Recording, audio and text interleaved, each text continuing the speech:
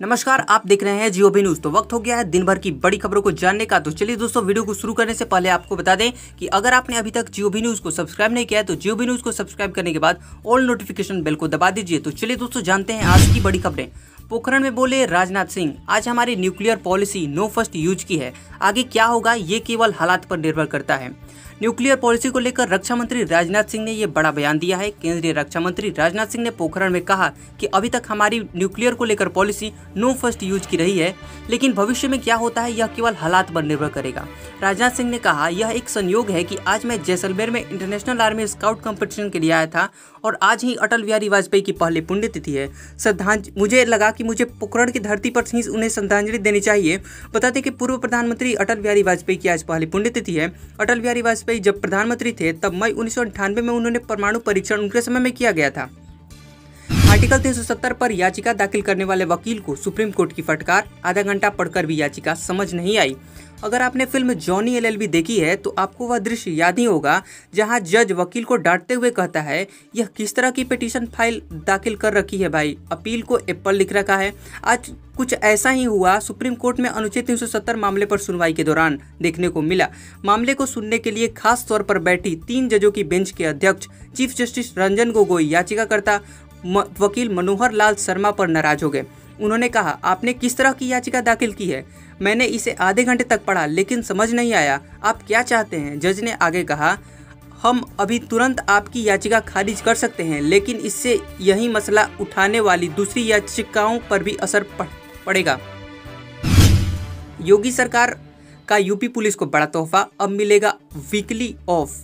UP सरकार ने police कर्मियों को एक बड़ा तोहफा दिया है। अब पुलिस वालों को हफ़्ते में एक दिन की छुट्टी मिला करेगी। योगी सरकार के इस फैसले की पुलिस विभाग में तारीफें शुरू हो गई हैं, क्योंकि पिछले लंबे वक्त से पुलिस की ओर से ये मांग की जा रही थी। इंस्टाग्राम में आएँगे नए फीचर्स, बुमरंग और स्टोरीज में होगा बदलाव। खुलर सोशल मीडिया ऐप, इंस्टाग्राम पर मलिकाना हक रखने वाली फेसबुक ने एफ़ एट कॉन्फ्रेंस में कई बड़े ऐलान किए हैं। फेसबुक के ऐलानों में इंस्टाग्राम में होने वाले बड़े बदलाव भी शामिल हैं। इंस्टाग्राम पर जल्द ही स्टोरीज और बुमरैंग्स में नया लेआउट देखने को मिलेगा। रिपोर्ट्स के मुताबिक इंस्टाग्राम के सभी नए फीचर्स अभी सेटिंग पेज में हैं। पीएम मोदी के तीन संकल्पों के मुरीद हुए पी चिदम्बरम कहा, आशा करता हूँ उनके अधिकारियों ने भी बयान सुना होगा। पूर्व वित्त मंत्री और कांग्रेस के वरिष्ठ नेता पी चिदम्बरम ने प्रधानमंत्री नरेंद्र मोदी के तीन बयानों की तारीफ़ की है और कहा कि हम सभी को स्वागत करना चाहिए। पीएम मोदी ने छोटा परिवार प्लास्टिक के खिलाफ मुहिम और वेल्थ क्रिएटर्स पर बयान दिया है। कश्मीर में चरणबद्ध तरीके से हटेगी पाबंदी। 12 दिनों में नहीं हुआ कोई जान माल का नुकसान, ऐसा कहना है मुख्य सचिव का। जम्मू कश्मीर में अनुच्छेद तीन सौ सत्तर को कमज़ोर किए हुए अब तक 10 दिन से भी अधिक का वक्त हो चुका है, लेकिन अभी भी कई हिस्सों में धारा 144 लागू है और मोबाइल सेवा बंद है। शुक्रवार को जम्मू कश्मीर मुख्य सचिव बीवीआर सुब्रमण्यम ने ऐलान किया कि जल्द ही घाटी में हालात सामान्य होंगे और पाबंदियों में छूट भारत चीन के विकासशील देश के दर्जे पर ट्रंप का विवादित बयान, कहा, नहीं उठाने देंगे फ़ायदा।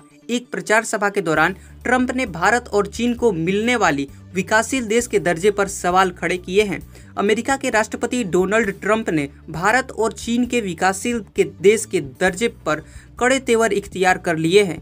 डोनाल्ड ट्रंप ने ये कहा कि भारत व चीन अब विकासशील देश नहीं रहे ट्रंप ने दावा किया कि वे वर्ल्ड ट्रेड ऑर्गेनाइजेशन के टैग का फ़ायदा ले रहे हैं और चेताया कि वह अब इसे और नहीं होने देंगे।